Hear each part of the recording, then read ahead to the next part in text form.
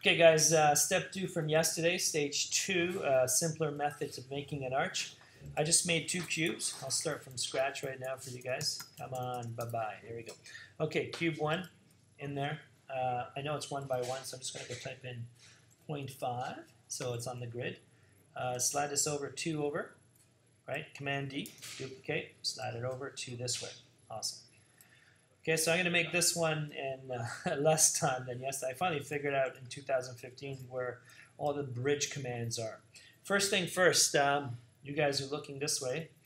I have a cube here and a second cube. If you want to bridge one to the to the second one, you have to combine it. So shift select both, and then go to uh, mesh combine. Okay, so things are all over the place. I think it looks like in 2015 they really separated things according to tasks. So combine is fine and it's nice to see that it's centered. So that's your um, hint.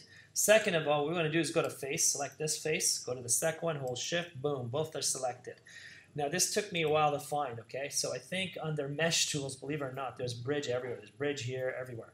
So mesh tools, bridge, and I'm just gonna click it. And I think initially when I did this, there's nothing in here that, except for these two triangular things, right? So I'm just gonna select, and I'm just randomly adding segments and then W to get out and go into object mode super fast. And then look on the right here. If you're in control A you're in attribute. Let's go to the channel box and look over here where it says poly bridge edge okay? Now this is kind of cool. If you look down here where it says curve type to uh, blend or, or how cool that is. The minute I change it like check out curve. You think it would be curve? Nope. Don't know what I haven't figured that out. So let's go to blend and then what's awesome about this, I'm going to give it like, let's say six. Check it out. Boom. One, two, four. Five. Why is this? Is this kind of like, doesn't make any sense here. One, two, three, four, five, six, seven.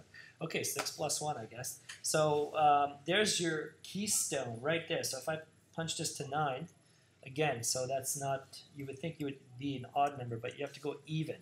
So that's actually pretty cool for me, right? I've got this nice arch. Usually in the past, I used to have a string here uh, an arc, and I would like control the curve. So I don't know how to do that in this new version of 2015. But this is looking pretty good, so I'm just going to go to object mode and slide down here, select face on the right, boom, shift on the side, and then I'm going to go to extrude and make sure you select the little blue button just like yesterday, no difference, because if you don't, uh, sometimes that may not work for you. So this is pretty cool. I think I can crank this down a bit more, and proportionally it's not bad object mode, uh, we're good to go. Now, again, this isn't a perfect archway, but it's pretty cool. What you can do is come over here on the face, boom, spin around, holding option, shift, select the second side, and, and why don't I select this as well and just go to extrude. Okay, again, always, always extrude on the blue, uh, blue one here. Ooh, that looks crazy. Okay, no worries. I mean, that's okay. So what I'll do right now, just go to edge mode, spin around, grab this edge. And oops, just the edge, please. Thank you. Option, spin around, hold shift, select this edge. And then I'm going to press R to scale, and I'm going to bring it on the blue axis again in, taper it in. Okay, so that works for me. Okay, so there it is. You've got your keystone in there, and if you want uh, W to get out, face, and just extrude out this one a bit, and just crank out a touch. Okay, so you could do that too. I mean, it's not the most architecturally accurate approach here. Uh, you know what? Yeah, I'm not happy with this. What I can do is Command Z dot. Why don't I just select these three pieces together? That would be more accurate. Okay, so here, one, two, three. That's cool. And let me bring it out. What's going on here? Oh yeah, I didn't press uh, extrude here. Let me just uh, Command Z a few times because if you extrude and do not, uh, if you select the extrude button and not do anything, you have a second surface waiting there. So let's not do that. So I'm just going to crank this out. Done.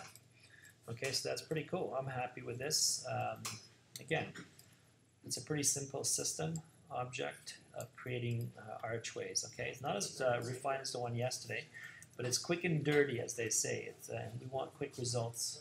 See you, man. Thank you. Okay, so there's that right there.